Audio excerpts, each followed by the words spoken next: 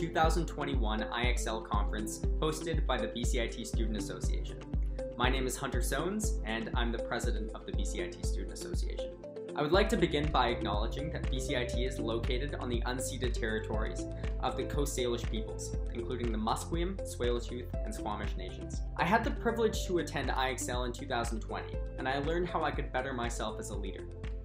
In just one short year, I feel that I've been able to use the skills I gained from IXL and apply them to my everyday life, whether it be in group projects, at the SA, at work, or even in some of my close friendships.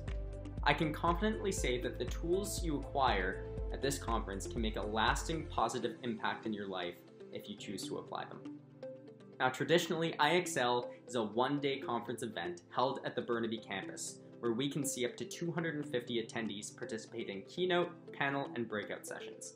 For obvious reasons, we've had to change this up quite a bit for 2021. This year, we've shifted to a new online format and theme that's fitting to the times we live in today. We did this to try to reach and relate to as many students, alumni, staff, faculty, and industry professionals as we can. Forbes recently published an article called Great Leadership Starts with Self-Awareness by Chinwe Esimai. It states that self-awareness has been cited as the most important capability for leaders to develop. Successful leaders know where their natural inclinations lie and use this knowledge to either boost those inclinations or compensate for them. The one constant factor in all of your endeavors is you, so understanding yourself is therefore paramount. And so, IXL 2021 is all about investing in yourself. This year, we will be sharing a video series with industry and development leaders that will invite you to invest in your education and in your career. You will be asked to self-reflect, dig deep, and truly learn how to invest in yourself.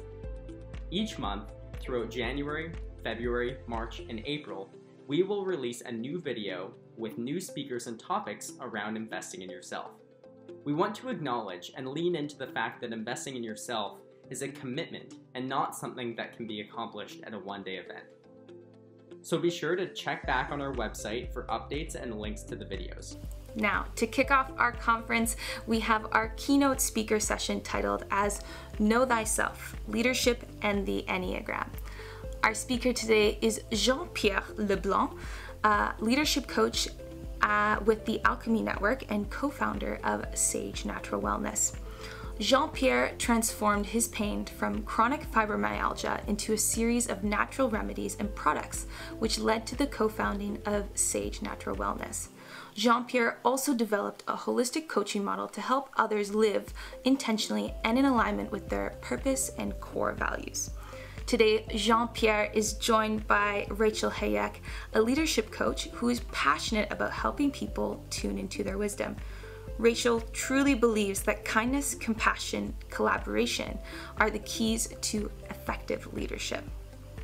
Today in this session, you will not only learn the importance of the concept know thyself, but also appreciate truly uh, what you are passionate about and understand the importance of wellness when it comes to leadership.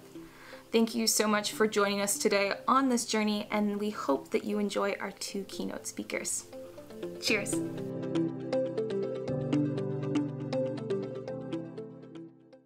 My name is Rachel Hayek. I'm a coach and wellness facilitator, and I'm here today with Jean Pierre LeBlanc.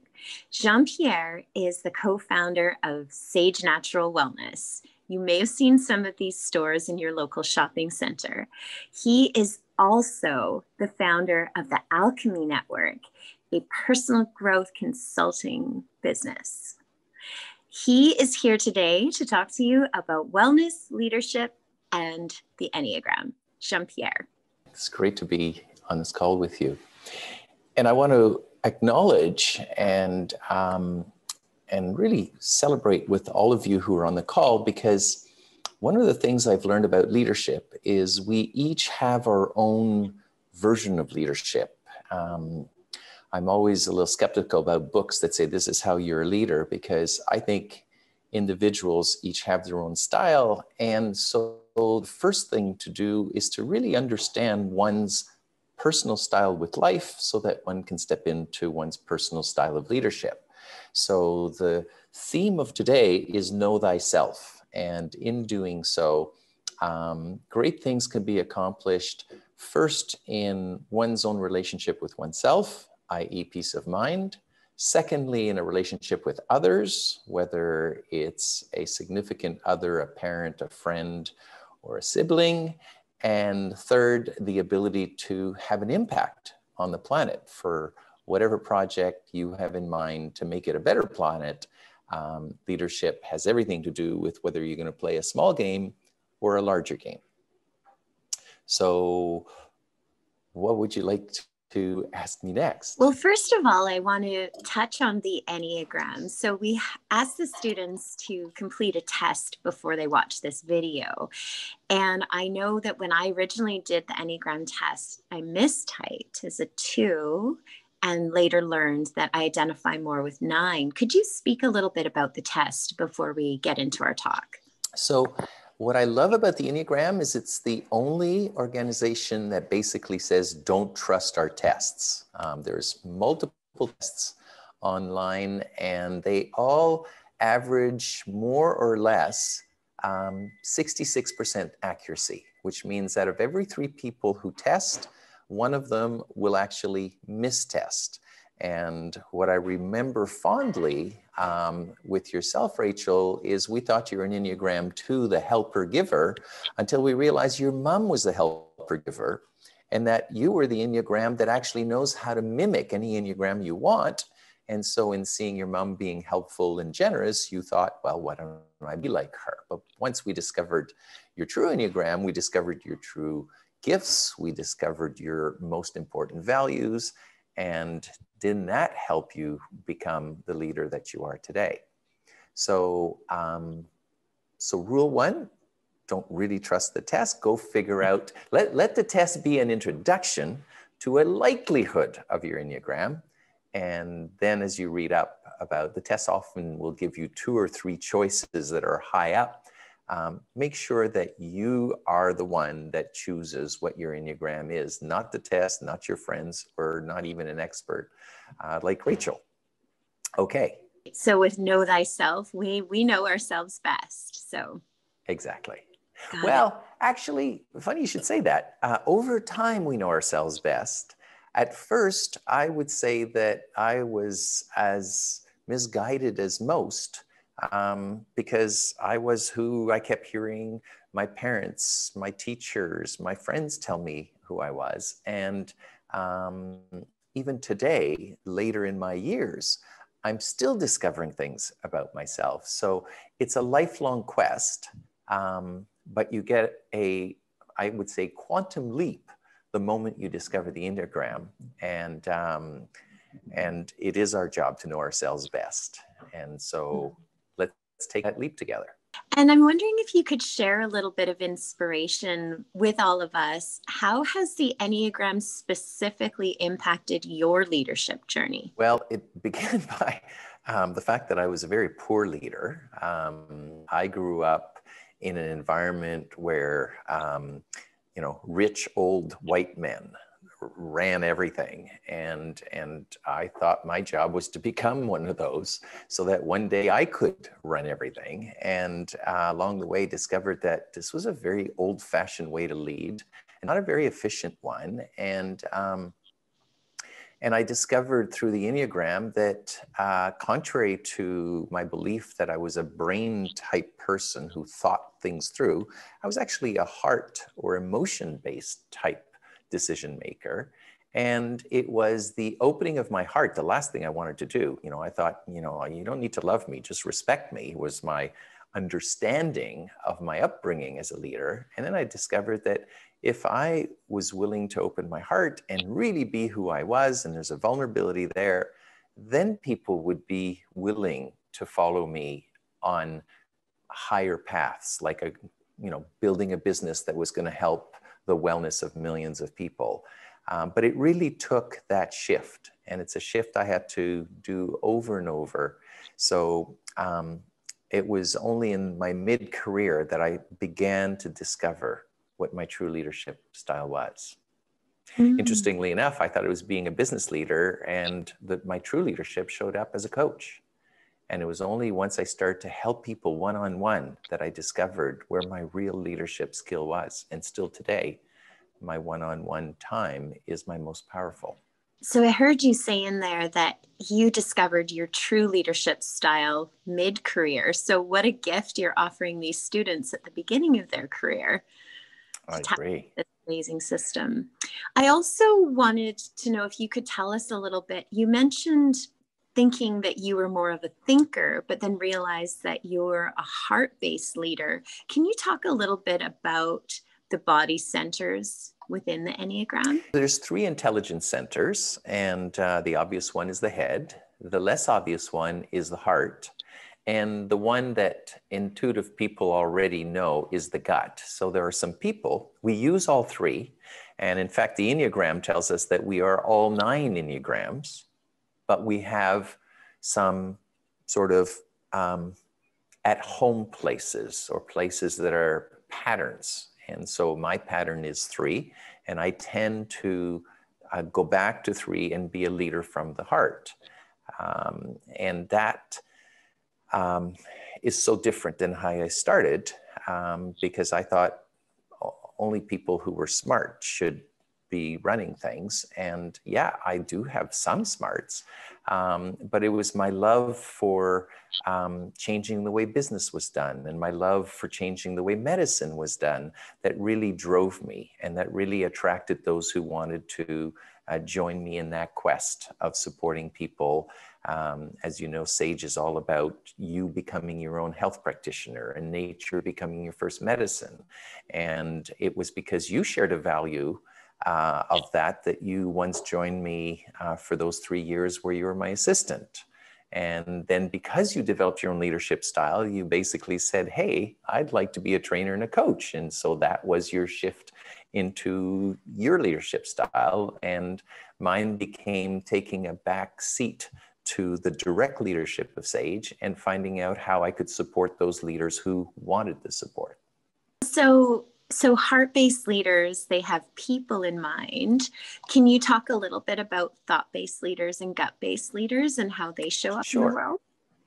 So you'll know you are a head type leader because you're constantly assessing possibilities causalities. It's almost like you're running a spreadsheet in your head. Like you you're seeing everything that can happen. You're sizing up risk you're sizing up opportunity, you're counting things. I remember having a date with uh, Kate at the really early part of my relationship, and she said to me at the end of the date, You know, this restaurant's not going to make it. And I said, well, What do you mean? She says, Well, there's 26 tables with an average of four chairs per table, and there's only so many people, and there's so many uh, sittings and they're just not going to make it. And i'm going like wow how boring a date must i have been that she had time to do all that. But it turns out that it's what she does. As a matter of course she's always counting things. Her head is just working in overtime while someone else my daughter for example is a gut type. So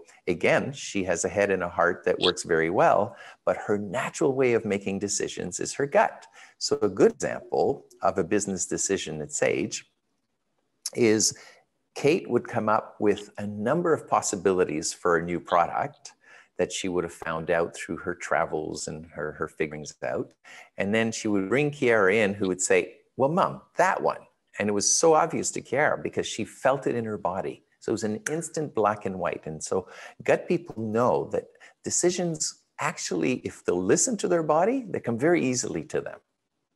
And my heart type was about figuring out that mom was a head type and Kiara was a gut type and encouraging them to make decisions that way. And that's how they made their best decisions. So each has a role and, and they're very distinctive once you figure out what they are. Um, so like I said, even though we're using all three, there is one that is our dominant way of making a decision. So three bodies of intelligence, three types of people making decisions. And then in the Enneagram, the other three types is there are people who just naturally want to take charge and they move quickly and they're sometimes hard to follow. And, um, and, and that's their most natural drive. There's also a side of them um, and for some people it's their dominant way, which want to support. They, they find they have a more middle pace of, of action and uh, they, get, they get their kicks out of helping those leaders that they think um, can um, uh, do something good for the planet or good for the community. And then there are those who like to kind of sit back and absorb and notice things, and they can be your greatest experts and or your greatest artists, um, or in your case, the greatest peacemakers, because they bring in diversity, inclusion. They they hear everybody. Like nobody can be a coach like an Enneagram Nine because first they listen, and when they've listened well, they'll say, "And so now, what are you going to do about this?"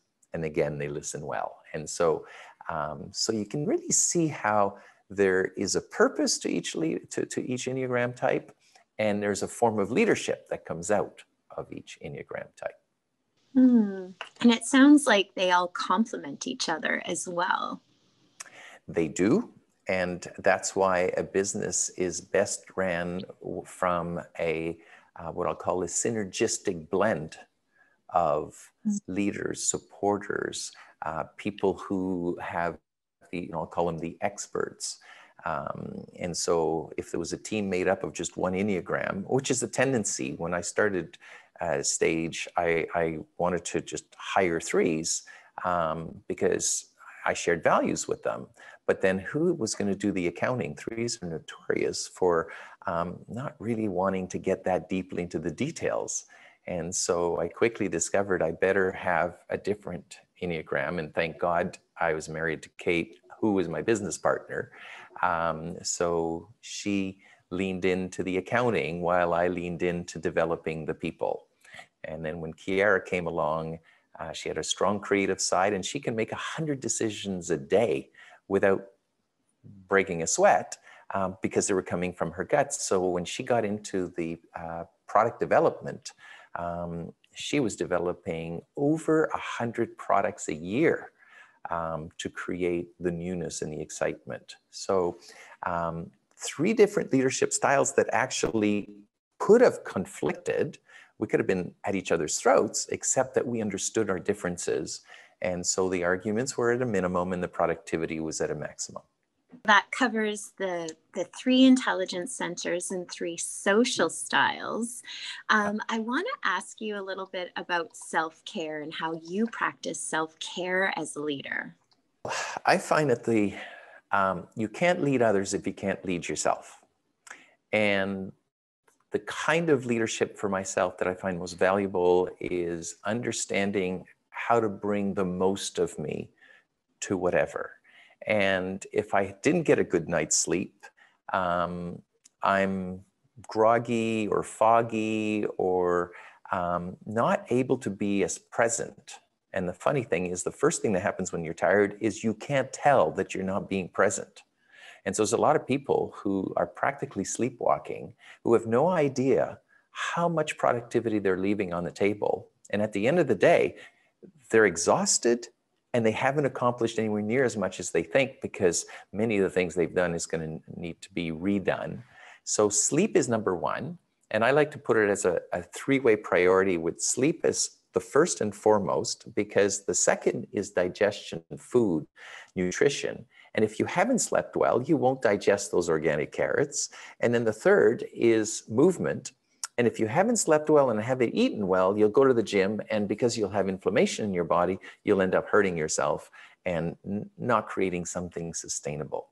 So I find that the best leaders know the importance of being well slept, well fed, and, and have some movement in their body so that um, they can bring all of themselves to whatever situation that they can offer leadership to. Great. So we've got, as leaders, know thyself. And then we've got these three pillars of wellness the sleep, nutrition, and the movement. So, all that being said, can I give what? you an example? Yes. I'm going to give you an example of knowing thyself. So, my body type is one that's particularly dry. Right now, I'm in a situation where um, the heating is on full and it's very dry in here. And if I wasn't taking in some water through this interview, I would actually lose some brain function and be more likely to have brain fog or not be completely following everything you say or give you my best answers. So that's an example of knowing my, some people don't need water the way I do, but um, I know that this environment and this particular body and this timing requires it. And I know in in the world of wellness, we use a phrase, put the oxygen mask on yourself first. Um, and so that idea of we need to take care of ourselves in order to be in service to others but we have to know what that oxygen mask looks like. What does it take to take care of ourselves? So I'm, I'm hearing in what you're saying that you know exactly what it is you need.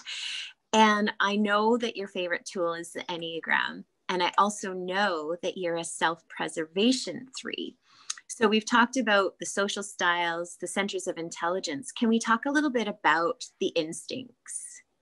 and what self preservation means to you. Yeah, on the subject of looking after myself, I'm fortunate to have uh, self preservation on the top of a, um, it's like a stack of pancakes. So, um, uh, so some people like myself, self-preservation, which is really preservation because it applies to anybody who comes near me. I'm concerned about their wellness and do they have a scarf if they're going out in the cold and and and so on. So that's that's my top of the stack. In the middle of my particular stack, I have um, uh, what some people call one on one, or I call intensity. The books call it sexual, but in this day and age, I think it's inappropriate to use that word. So I'm going to stick with intensity. And so that's like um, Kate has intensity on top of her stack. So if I say, hey, honey, let's go for a walk and talk about this, she'll say, no, we're going to sit right here and we're going to look in each other's eyes and we're going to talk this through. And like, so um, she'll go to a party and sit down with one person she finds interesting, spend half the night with them and have a really deep and powerful conversation. That's the intensity piece. And then Kiara represents the what she has on top and I have on the bottom is the social. And the social is that person who just naturally just gets along with people. They they know what to say and when to say it, and and and they see everybody as a friend they haven't met yet, and uh, it's wonderful to watch. And so, um, knowing that social is at the bottom of my stack, I've spent the last 20 years working on my social style and and learning how to just be easier to get along with and just a nicer person. Um, and for Kiara, she's been learning how to take care of herself more because it doesn't come naturally to her. So she has to make a, a particular attention or have a partner that she can say, hey, um, I never take my vitamins. You know, would, would you keep an eye on that for me? Or would you, would you remind me? And so knowing ourselves, we can pay attention to whatever part of our subtype or our instinct that is on the weaker side. And I think it's really interesting, Jean Pierre, that as you're talking, I'm hearing you talk about these experiences on a sort of continuum where the the commitment to learning about yourself and applying the Enneagram as a as a tool to learn more deeply about yourself as a leader it sounds like it's an ongoing process that doesn't end. Can you speak to that a little bit? It's interesting that if you can have a sense of humor about it, um, there's a saying I love that says, uh, if you will laugh at yourself, you will forever be amused. And, um, and so discovering oneself can be a little daunting um, because at first we discover things that we don't necessarily want to know. One of the ways I tell people you'll recognize your Enneagram when you read about it is when you kind of recognize a few things and feel kind of uncomfortable about a few things. Um, that suggests that you're probably reading about yourself because um, I discovered, for example, that an Enneagram 3 is the achiever. And I thought, yeah, go me, I'm an achiever. And then I found out because I only think when I'm achieving. And I went, oh, that's also true, not so comfortable.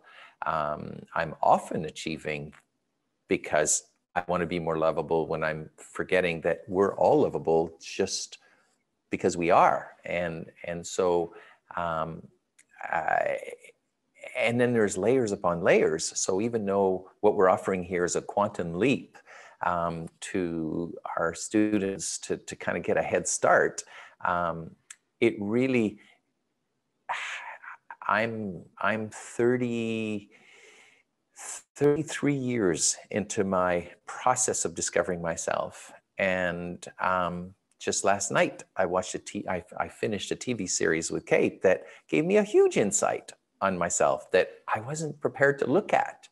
And uh, hopefully, it will lead to even better leadership move forward as I now understand that there was this flaw that I, I just wasn't ready to look at. You've heard the statement when the student is ready, the teacher appears. Who would have thought a Netflix series would have been my teacher? But by the time you commit yourself to learning a lot about yourself, everything becomes a teacher. It can be a, a, an article you read in a, in a, in a magazine. It could be a coach that you hire. Um, it's amazing. And it, it, I don't know a bigger gift. You know, you can buy me a new car, but if I don't understand myself, um, I'm struggling in that car. Um, so I'm amazed to see that um, as I do this work, it blesses my relationship um, with others. It blesses my relationship with myself, which looks like really steady health, you know, strong immune system, lots of energy. Um, you know, having energy at the end of the day is an amazing gift. And I find that people who know themselves are able to know others, have great relationships, and at the end of the day, they're still full of energy and having a great time of life. Um, whereas those who don't, I see a lot of exhaustion. I see burnout. I see dissatisfaction, and um, and so it's a it's it's a lot of work and it's a massive payout. Is how I would mm. put it. I have a question about that, Jean Pierre. So, when it comes to burnout and feeling exhausted at the end of the day, how can the Enneagram support leaders in stepping into more self awareness and personal responsibility?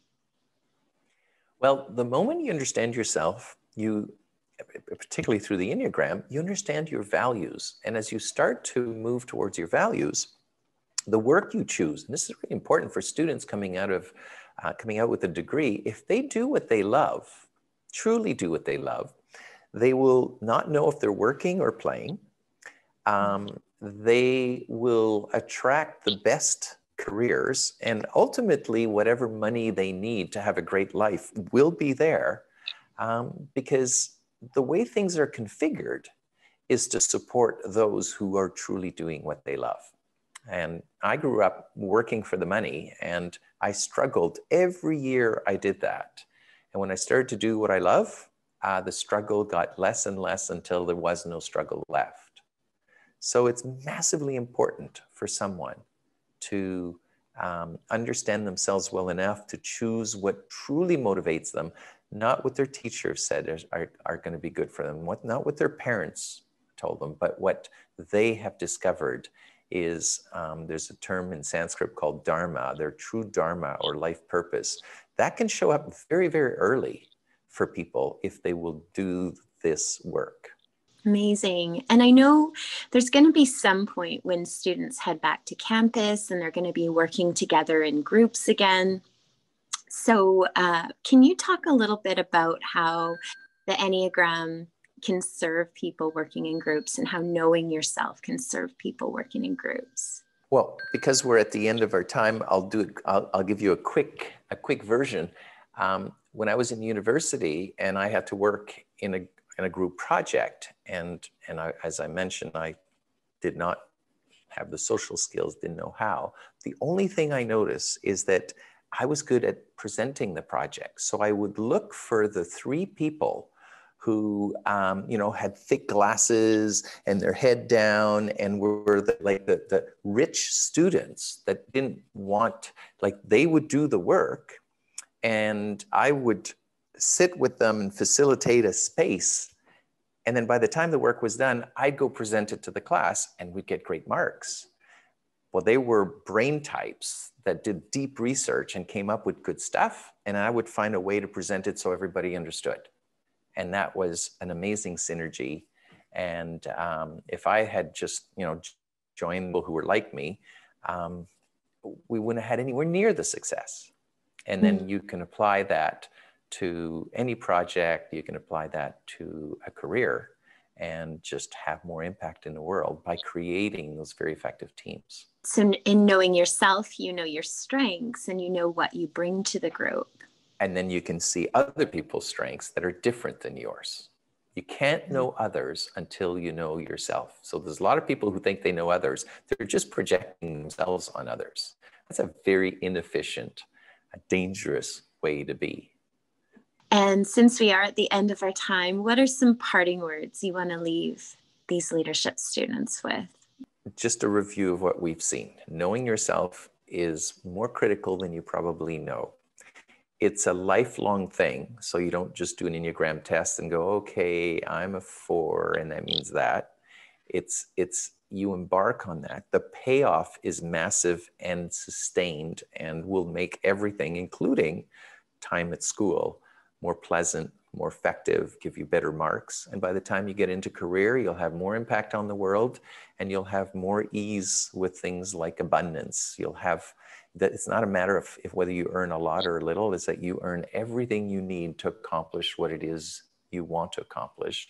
And it makes for a very fulfilling life. Thank you so much, Jean Pierre. It's been a pleasure chatting with you today. The pleasure was mine, Rachel.